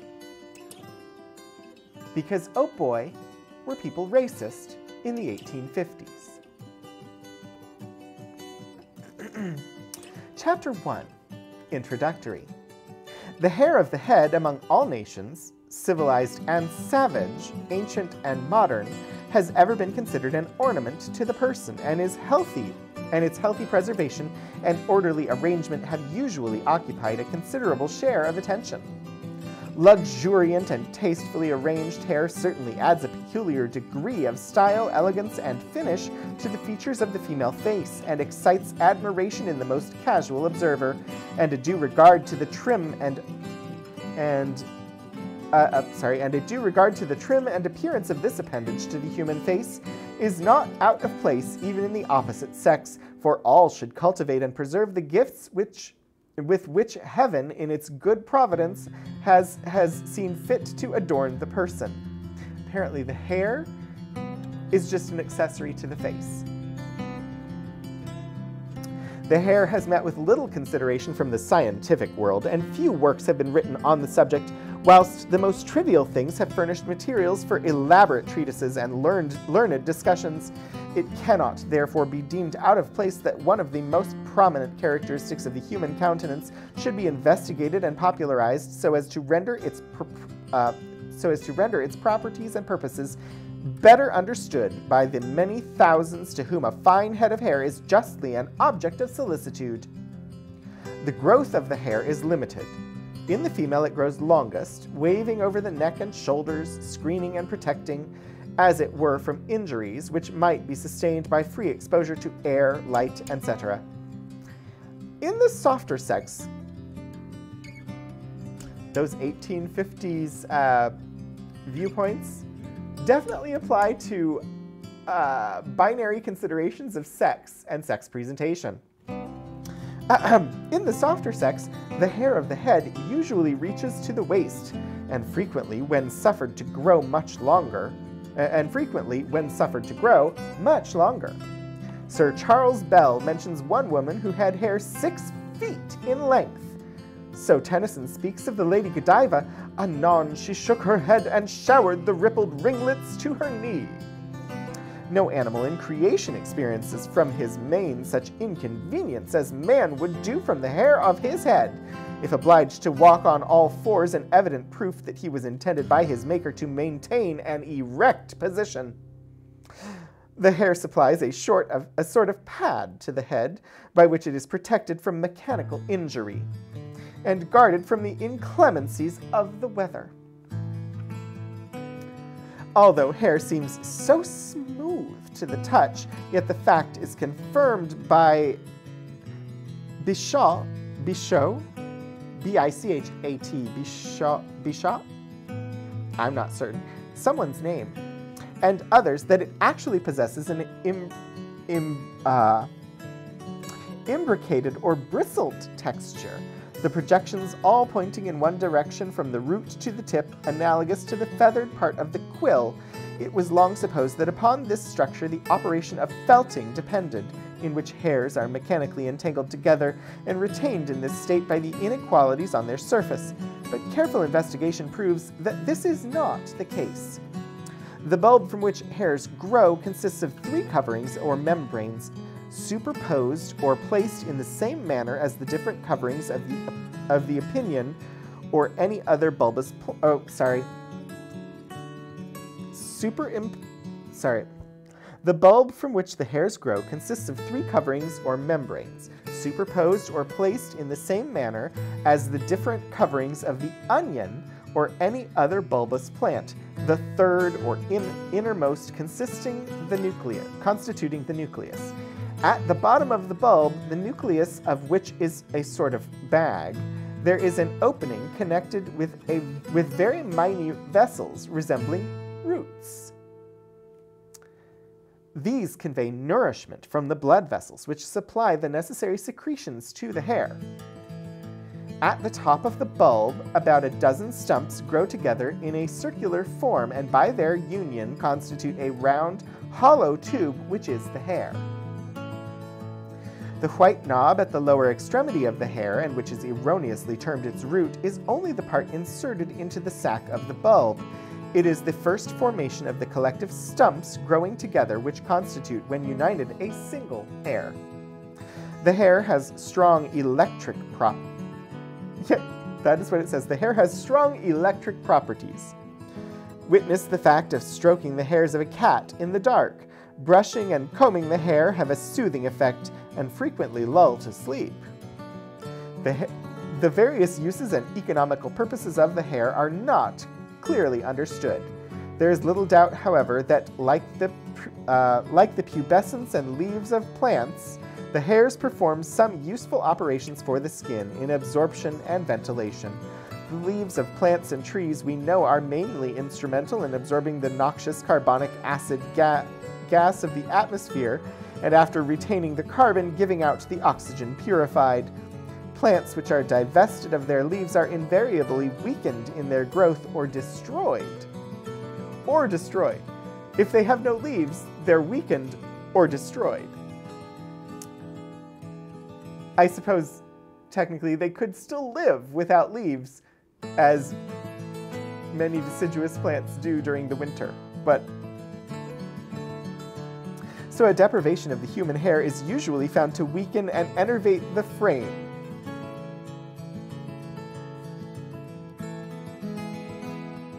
This article just said that if you lose your hair, you're going to get weaker. And the history of Samsoa, oh, no, Samson, and the history of Samson proves that strength lies in the luxurious, luxuriance, vigorous growth, and proper functions of the hair. They're pointing to what I believe is a Bible story of Samson. I don't know, actually. Uh, it, it is a definitely a folklore tale, possibly from the Bible, um, to, to, as proof that losing one's hair makes one makes one weak. Okay, yes, okay, from the Bible. Um, Samson and Delilah. Thank you, Fluidan. I knew I knew it was like Samson and Delilah. I just didn't know if it was a Bible story or not because I, like I, am familiar with the general gen generalities of the tale, but I'm familiar with it because of musical theater. Um, so yeah. Uh, occasionally, however, it is found necessary to remove the hair from the head in cases of fever or disease to stay the inflammatory symptoms and to relieve the brain. The head should invariably be kept cool. Close nightcaps are unhealthy and smoking caps and coverings for the head within doors are likewise detrimental to the free growth of the hair, weakening it and causing it to fall off. Hats will make your hair fall out. 1855 take. Something that was published in this women's magazine in 1855 is a persistent wives' tale to this day. And I shouldn't say wives' tale, it's just, it is a colloquial term for um, a falsehood that is believed by many. In fact, hats do not make your hair fall out. Uh, people with balding heads wearing hats are correlated with balding heads. Like hats are correlated with balding heads, but often because people with balding heads put hats on their heads. Uh, not that they lost their hair because they were wearing hats. Uh, Bible stories is literal anecdote, not data. Yeah, I, I agree. You've never heard that hats make your hair fall out. Oh my gosh, it is definitely a um, a uh, folklorish belief that hats make your hair fall out. And here we have, in 1855, an article in a women's magazine purporting to tell all about hair and how it functions, that close caps will make your hair fall out. When screened from contact with the atmosphere, hair may be preserved uninjured for centuries, as it does not possess within itself the principle of decay particular to all other animal substances, but would seem to be in a great measure incorruptible. This is also falsehood. Um, hair will indeed biodegrade and break down over time, uh, in the case of like mummies and mummified bodies, where we find intact hair, um, that is because they were mummified and were pre preserved in a certain uh, environment that allowed for the retention of the flesh, though desiccated, and the hair. Um, in other bodies where decomposition is taking place and they are exhumed and the hair is found to still be intact, it's because the hair takes longer to break down than the soft flesh. Um, those hats are the ones that have the electric razors fixed in the cap. Uh, yeah, sure. It does not even rot or decay when exposed to air or immersed in water. Next to the bones, hair is evidently the most indestructible of the constituents of the body. Bones will actually decompose as well when exposed to the elements and time. Uh, fossilization occurs via a process of replacing the bone with rock and happens over a period of time under certain conditions. And so the fossils that we find are actually stone, they're not bone. They are stone that retained the shape of the bone that they replaced. They just happen to be of a different composition than the rest of the material around them because of the deposition of the, the stone in place of the bone over time. So, um, yeah, again, bones are not destructible either. And I am not a scientist. I have not studied in depth these things, but these are these are things that I know from being interested in fossils and being. Uh, I once considered archaeology as a possible life career path, uh, and you know, what kid that saw Jurassic Park when they were in high school didn't think of archaeology as a possible career path? But I digress. Let's let's return to this. Um, there are accounts of its having been found in old tombs after all the soft parts have disappeared and has been detected on portions of the human skin which have been nailed to church doors for centuries. Again, desiccation and failure to decompose under certain conditions does not mean that it does not decompose at all. An interesting account of which is given by Mr. Quick, uh, of the in the Transactions of the Microscopic, Microscopical Society of London. A remarkable property of hair is the manner in which it is affected by the dampness of the atmosphere, which by relaxing its substance increases its length. Hence, hairs are often used for the construction of the best hydrometers. Hair can be stretched to one third of its ordinary length and will con contract again to its ordinary dimensions. The hair of different individuals differs considerably in thickness, ranging between 1 300th to 1 700th of an inch in diameter, and it is no less variable in its other physical properties, some kinds being much more dense and elastic than others, a circumstance which, as we have just seen, depends greatly upon the proportion of gelatin which it contains. Some measurements of the hair of the head have been made, by which it is ascertained that black hair is thicker than brown and brown than blonde. The average diameter of the hair of the head seems, however, to be 1 300th or 350th of an inch. From inquiries instituted into the number of hairs grown upon a square inch of the skin of the head, it appears that of black hairs there were 147, chestnut 162, and blonde 182. The chemical properties of hair are like those of horn, the nails, etc. Sulphuret of iron and a fluid secretion give the prevailing color. Black hair containing the largest proportion of iron, while, red, while in red or gray hairs the sulfur is absent. With the varieties of the color of the skin, there generally coincide analogous differences in the hair and eyes. It is probable indeed that the coloring matter is the same in all, being combined in the cuticle with its peculiar cells and scales, in the hair with a horny substance. The hair from its structure we have seen has not, inappropriately, been compared to the section of a plant. Every hair has a stem and a root, the latter being embedded in the skin as a tree is in the earth. But the comparison does not end there. The tree has bark, medulla, and intervening substance. The hair has the same. The bark, or cortex of the hair, displays a series of imbricated scales placed one overlapping another, just as we see tiles or slates overlap on a housetop. Indeed, actually, hair does have that sort of construction. Immediately below this scaly bark, we have a fibrous portion forming two-thirds of the bulk of the hair. These fibers are seen to separate when, the hair, when hair splits from being left too long uncut. The center of the hair has a little canal, full, on, full of an oily lubricating substance, containing the greater part of the coloring matter, which is blackish green in black hair, brown in brown hair, red in red hair, and is almost absent when the hair has become gray, containing then phosphate of magnesia, which is not met with at other times. The hairs ordinarily appear round or cylindrical, but the microscope also discovers triangular and square ones, which diversity of figure arises from that of the pores to which the hairs always accommodate themselves.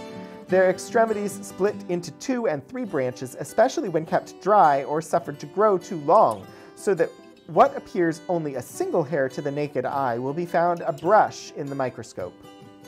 All short curly hair is mostly flattened, particularly the hair of the whiskers, beard, and mustaches. A transverse section of the hair will therefore show an elliptical form in some cases, from one side being grooved, appearing in shape like a bean. The hair does not derive its support from the nutritious juices of the body, hence it will live throughout the body, uh, uh, hence it will live though the body be starved, and we thus find that the hair and beard grow for a considerable time after death. Indeed, actually, hair does not grow after death. Uh, what is observed as a lengthening, lengthening of the hair after death has to do with the uh, slow dehydration and deflation of the fleshy tissue of the body. Um, and as the flesh of the body sort of deflates, it appears that the hairs grow and that the nails grow because the flesh around them has subsided somewhat. The manner of the formation of the hair is identical with that of the production of the scarf skin uh, on the surface of the sensitive skin. A fluid filtrated from the, from the blood is deposited on the surface of the vascular layers of the tube that is converted into granules, then into cells, and the cells, by a subsequent modification of their arrangement and form, become the bulb of the hair. The cells then undergo a little alteration from their original spherical form, which by a process of lengthening are finally converted into fibers so that a hair in its section presents three different textures, a loose cellular structure in the center, a strong texture of parallel fibers, and a thin varnish-like layer of flattened cells consisting, or constituting the polished surface.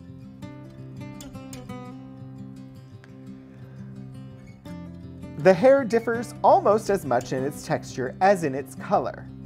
In chief varieties are observed the in the in chief, varieties are observed in the copious, long, soft, and more or less curly hair of various colors, in the European, the strong, straight, and scanty hair of the South Sea Islanders, and the black, fine, wiry, crisp hair of black people. The very general characteristic of the darker colored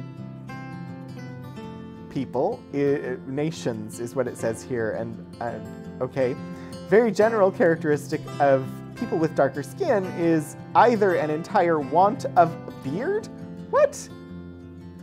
Or a very scanty one developed later in life than in the white races. Okay, there is variation in beard density across all people.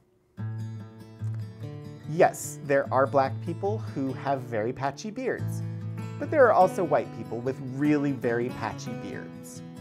There are black people with very, very thick, luxuriant beards. And there are white people with very, very thick, luxuriant beards. There are Asian people with very, very thick, luxuriant beards, and there are Asian people with patchy, patchy beards. Because the way that the beard grows in, first off, is in sections. So if you want a full beard, you have to grow it for a long period of time because part of it will grow in while another part of it doesn't, and it can take more than a year for the full beard to fully fill in. Some people, it grows in very thick. Some people, it takes longer. Some people have very thin beards because we're all different and variation is the thing that happens. And sorry, I, I, have now gone off on beards. I could go into lots of detail on beards. I grew a beard once and it was very frustrating to me because it grew in in patches and I did a lot of research at the time to figure out what the heck was going on. So I know a little bit about beards and this is not accurate. Um, sorry. All shades of color of hair from coal black to light flaxen may be reduced to two classes, the black and the yellow. And in all varieties of mankind, the color of the hair corresponds with that of the skin, being black or dark colored with a dark complexion, and red or yellow with a fair, with a fair skin. Except for when there's light hair on people with dark skin, and dark hair on people with light skin, uh, both of which occur. Uh, there are peoples in northern Africa that have dark skin and very light hair. There are peoples in basically all of Asia that have very light skin and very dark hair. Uh, so again, I say this is not correct. I was not worth it. um, When a white skin is seen in conjunction with black hair, as among the women of Syria and Barbary especially, the apparent exception arises from protection from the sun's rays. Uh, no. I mean, yes, exposure to sunlight does lighten hair over time. But women or men who are pale of skin and have black hair, and, and I shouldn't say women or men, it's just my brain with magazine and the way that it... People with black hair and pale skin don't have black hair because they stayed out of the sunlight. And opposite characters are often found among people of one prevailing feature. Thus, red-headed Jewish people are not uncommon, though the nation in general have dark complexion and hair. In Europe, we find several well-marked varieties of complexion succeeding each other with gradations of latitude and climax, from south to north, and the people of Europe may thus be grouped under the four latitudes of the Mediterranean, France, Germany, and Scandinavia. And, and non-scientific observation, non-scientific statistical observation would look and say, oh look, the olive-skinned people of the Mediterranean, or the olive-complexioned people of the Mediterranean, tend to have really dark hair. And as you move further north, hair color tends to get lighter, where you get browns and reds as you move up through Germany and France, and then you have blonde people in Scandinavia, and you would look at this geographical distribution and say there must be something to it. And indeed, there probably is. And that thing is probably has to do with melanin in the skin with regard to the uh, amount of sunlight received at those latitudes and the long period of time that people lived there.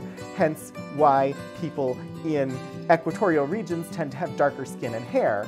Uh, and people in more polar regions tend to have lighter skin and hair, although we know uh, if we look at native peoples in Arctic regions that they tend to have black hair, uh, owing to uh, genetic roots in Asia uh, that have been, anyway, I, I'm, I'm not, yeah, sorry, 1950s article about hair has really gotten me to go off, and I'm sorry. Uh, the sad thing is that some of this nonsense was turning up in school books even when you were, yes, yes, this was definitely still in school books in the 80s and 90s uh, because people believed it. In the first division, we have the Italians, Spaniards, Greeks, Moors, and Mediterranean islanders. Among these, black hair and dark eyes with the complexion termed brunette are almost universal. Interesting, uh, in the 1850s, what we term today an olive complexion uh, was a brunette complexion. Interesting. I had not encountered that terminology before. In the latitudes of France, the prevalent color is a chestnut brown, to which the complexion and color of the eyes bear a relation. In the latitudes of Germany, in England, Denmark, and a great part of Russia, yellow hair and fair skin are prevalent. La okay, so they're saying blondes come before redheads, and that Scandinavia is redheads, I'm betting. Let's see. Uh, lastly, in the northern latitudes of Scandinavia, we find the Norwegians and Swedes, generally tall with sandy hair and light gray eyes, so they're not accounting for red hair at all. In all climates, however, the inhabitants of mountainous districts approximate in character to those of northern latitudes. They're saying if you live on a mountain, your hair is lighter than if you don't, which I don't think even bears out statistically. I've never actually considered that, but for instance, the Swiss of the mountains above the plains of Lombardy have sandy or brown hair, while the Milani Milanese peasants have black hair and eyes with strongly marked Italian features. In the higher parts of Biscay, the fair complexion, light blue eyes and flaxen hair contrast with the black hair and dark complexion of the Castilians.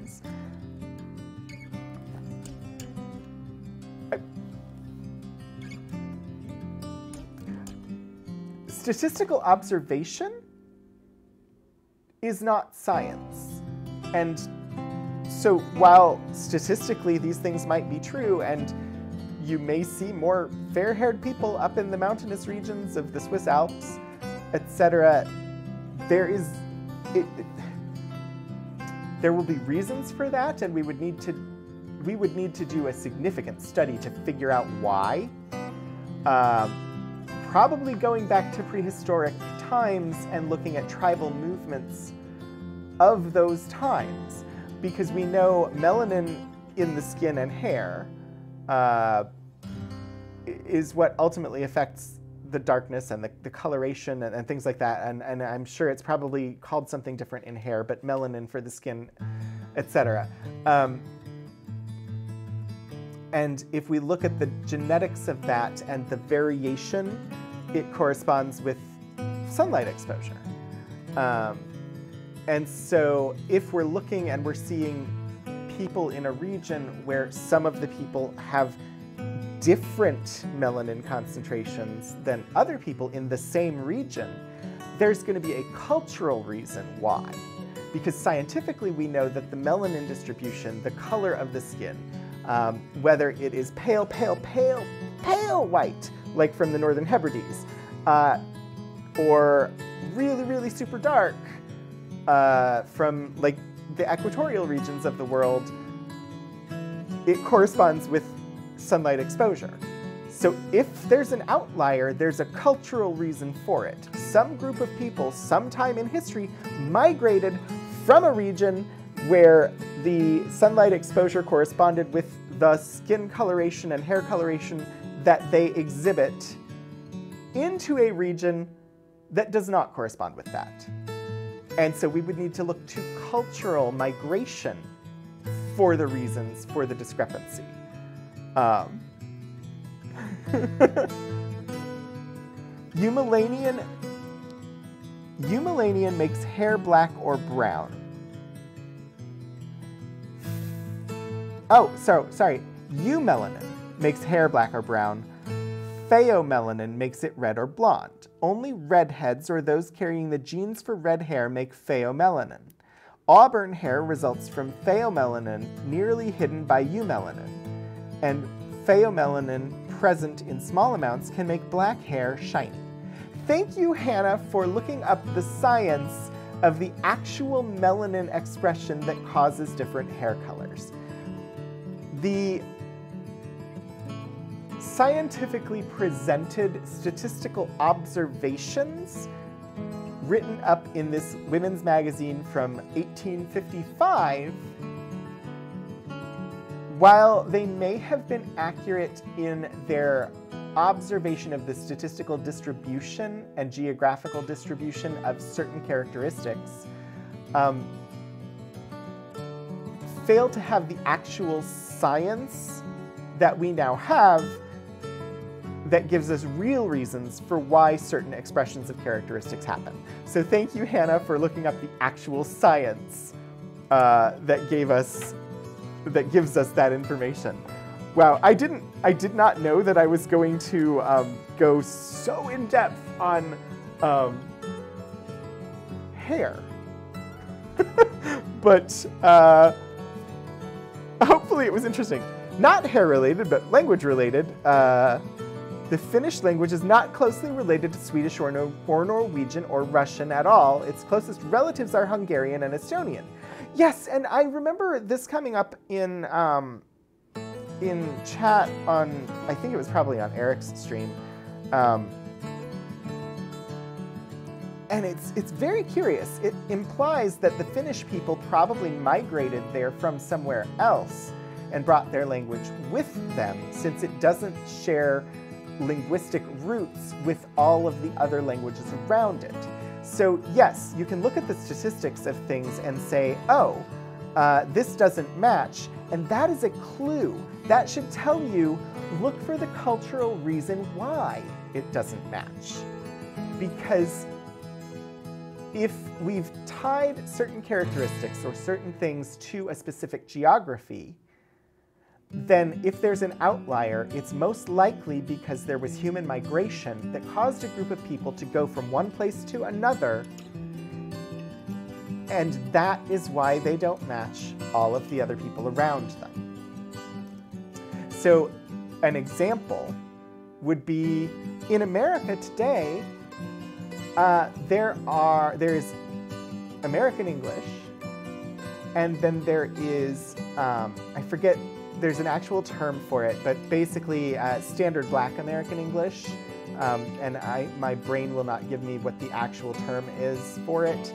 But there's a way of speaking that Black people in America have that is different from other people in America, and actually holds much more consistently across uh, geographic regions of America um, because there is this more broadly shared cultural experience uh, in like hip hop culture and stuff like that, that that people in Black America actually are exposed to and share as a culture uh, to connect with one another and uh, have people that understand the minor minoritized experience that they go through.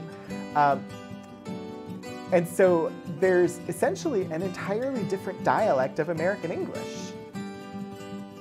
Because a group of people was uprooted from their homes and brought here against their will, and it developed into its own dialect and own characteristic culture over time, despite being intermixed with the broader culture in the geography in which it was placed. Sorry, I I, know a little bit about a lot of things, uh, but yeah. Here's a good subject to come through.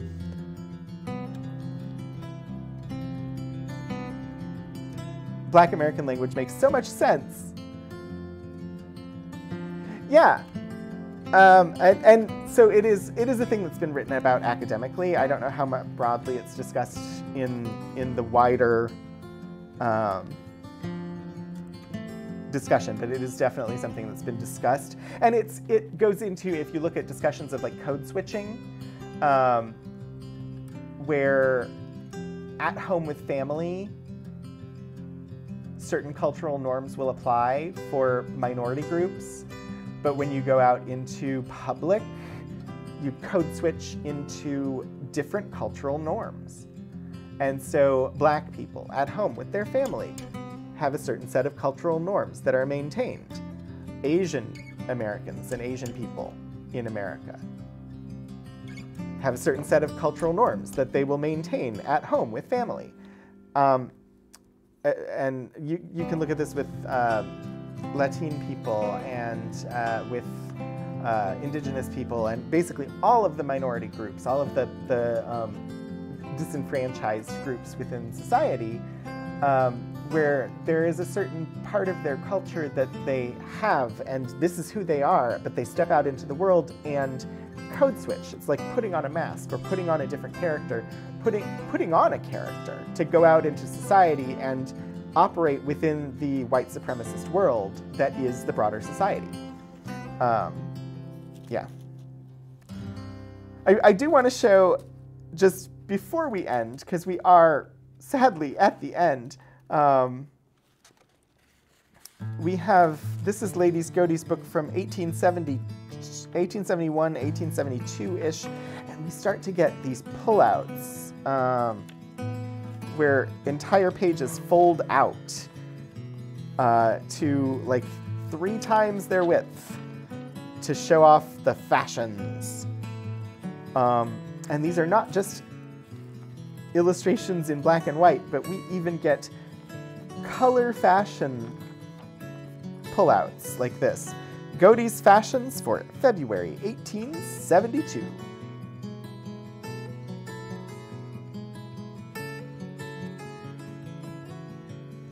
These are gorgeous books, and the illustrations in them I think are the really, really interesting thing. Um, I honestly find Godey's Lady's Book more fascinating than I did the early Ladies Home Journal. I thought the early Ladies Home Journal was fascinating, like this early 20th century stuff. This women's magazine from the 1800s, from the 19th century, is just amazing. And this, this appears to be a wedding gown in the middle here. I just noticed that. You can see um, in 1855, they had the hoop dresses, uh, like the full-on circle hoop dress that made me comment that, um, that Kaylee from Firefly would like it. Here in 1871, 72, we've got bustles. Uh, instead of the fully dome-shaped hoops, uh, now we've got bustles.